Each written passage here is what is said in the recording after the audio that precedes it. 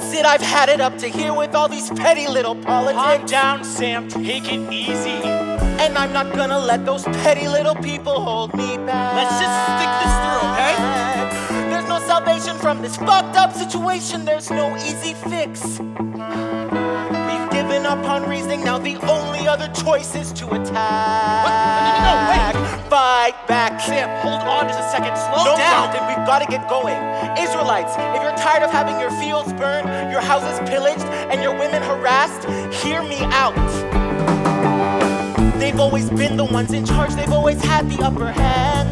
That's right, yeah. They've got an army, they've been arming, reinforcing while we slack. Got a better solution? We had two choices, but I see now that there's surrender, get a white flag up the pole, but paint it black. Fight back. No more way for the descouring in the shade. Wanna be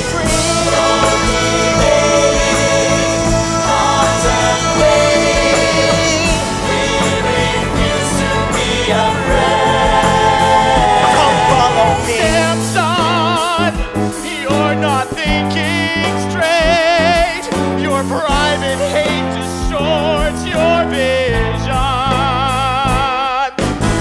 Honestly, that might be true, but our time is due to make decisions.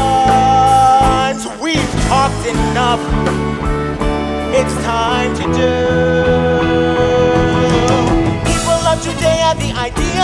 Startle, it's a hit and run. Yes, sir. Will do, sir. We'll make them bleed, we'll turn their women into widows, make them move. It's your command. It's your command. This war is calling us, and even though it's only barely just begun, Got a long way to go.